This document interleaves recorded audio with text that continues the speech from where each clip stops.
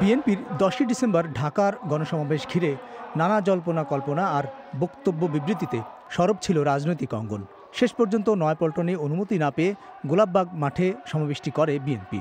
যেখান থেকে দশ দফা দাবি আর দলীয় সংসদ সদস্যদের পদত্যাগের ঘোষণার মধ্য দিয়ে সমাপ্ত হয় এই কর্মসূচি। আলোচিত এই সমাবেশের রেশ এখনও কাটেনি রাজনীতিতে। BNP target super flow. তারা যা চেয়েছে তারা কি বলেছিল? কি না বলেছিল? আগে থেকেই ক্ষমতাসীন দল বিএনপির এই সমাবেশকে ঘিরে ছিল বিশেষভাবে প্রস্তুত। তারা বেশি দূর আগাতে সক্ষম হয়নি। আইন শৃঙ্খলা রক্ষাকারী বাহিনী এবং আওয়ামী লীগের নেতাকর্মীরা আওয়ামী লীগের সহযোগী সংগঠনের নেতাকর্মীরা দেশের জনগণের পাশে দাঁড়িয়েছে।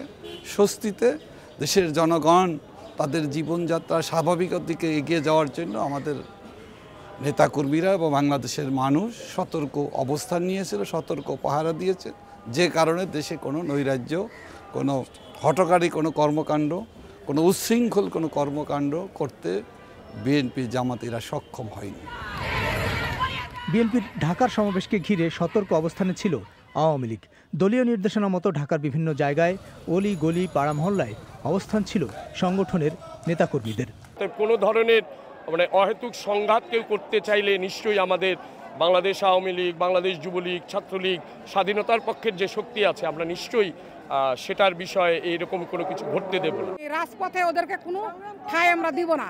কোনোভাবে সমাবেশ করতে আমরা দিব না। সেইভাবে আমরা রাত দিন চব্বিশ ঘণ্টা পরিশ্রম করে আমরা এইভাবে কর্মসূচি করে ওইখানে আমরা অবস্থান করছি ফার্ম গেটে আপনাদের প্রতি নির্দেশনা কি ছিল? দিক নির্দেশ ছিল ওরা ওরা মিছিল ওরা সমাবেশ করুক কিন্তু নৈরাজ্য করতে পারবে না। ওই ককটেল মারবে ওইটা করবে ওইটা করবে ওইটা করতে পারবে না। নৈরাজ্য ঠেকাতে হবে।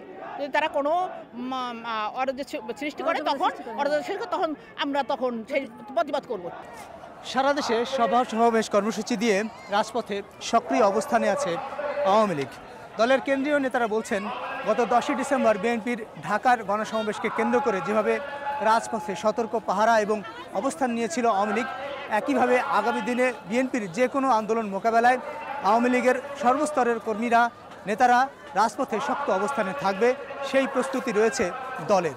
একই সঙ্গে আওয়ামী লীগের কেন্দ্রীয় নেতারা এও বলছেন যে বিএনপির আগামী দিনের যে কোনো কর্মসূচিকে সতর্ক পর্যবেক্ষণে রাখছে দলটি। বিএনপি নামক দলটি যখন আন্তর্জাতিকভাবে বাংলাদেশের বিরুদ্ধে অবস্থান নিয়েছে, তখন কিন্তু আমরা বুঝতে পারি যে বিএনপি নামক দলটি দেশের জনগণের উপর আস্থা হারিয়ে এখন আন্তর্জাতিক ষড়যন্ত্রকারীদের কাছে ঠাঁই নিয়েছে। কাজেই বাংলাদেশ আওয়ামী লীগের সকল স্তরের নেতা কর্মীরা কিন্তু অত্যন্ত সতর্ক এবং আমি বলতে পারি যে শুধু দশই ডিসেম্বরকে কেন্দ্র করে শুধু পাহারা দেখিয়েছেন। আমরা কিন্তু সবসময় পাহারা দিয়ে আমরা এগিয়ে যাচ্ছি যে কোনো পরিস্থিতি মোকাবেলার জন্য। এই মুহূর্তে ধারাবাহিক সভা সমাবেশ কর্মসূচি দিয়ে রাজপথে অবস্থান ধরে রাখার কৌশল নিয়েছে আওয়ামী লীগ। একই সাথে আগামী নির্বাচনকে সামনে রেখে বিএনপিকে মোকাবেলায় সাংগঠনিক শক্তি বৃদ্ধির কাজও চলছে সারা দেশে। আওয়ামী লীগ পঁচাত্তরের পনেরোই আগস্টের পর বহু ঝড় ঝাপটা দেখেছে মোকাবেলা করেছে।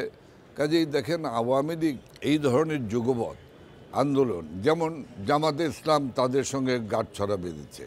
তারা যে যৌথ আন্দোলনের কথা বলেছেন, আমরা আন্দোলনের পার্টি, আমরা আন্দোলন করে আসা পার্টি, আমরা যে কোনো পরিবেশ পরিস্থিতি মোকাবেলার জন্য আমরা প্রস্তুত। ঢাকাসহ দশটি সাংগঠনিক বিভাগে গণসমাবেশের পর সরকার বিরোধী যুগপথ আন্দোলনের কর্মসূচি দিতে শুরু করেছে বিরোধী দল। এ পর্যায়ে আওয়ামী লীগ নেতাকর্মীদের কথায় বোঝা যায় রাজপথে সরকার বিরোধী আন্দোলন মোকাবেলা এবং রাজনৈতিক স্থিতিশীল পরিবেশ ধরে রাখাই ক্ষমতাসীন দল আওয়ামী লীগের মূল লক্ষ্য। আবুল কালাম আজাদ বিবিসি বাংলা ঢাকা।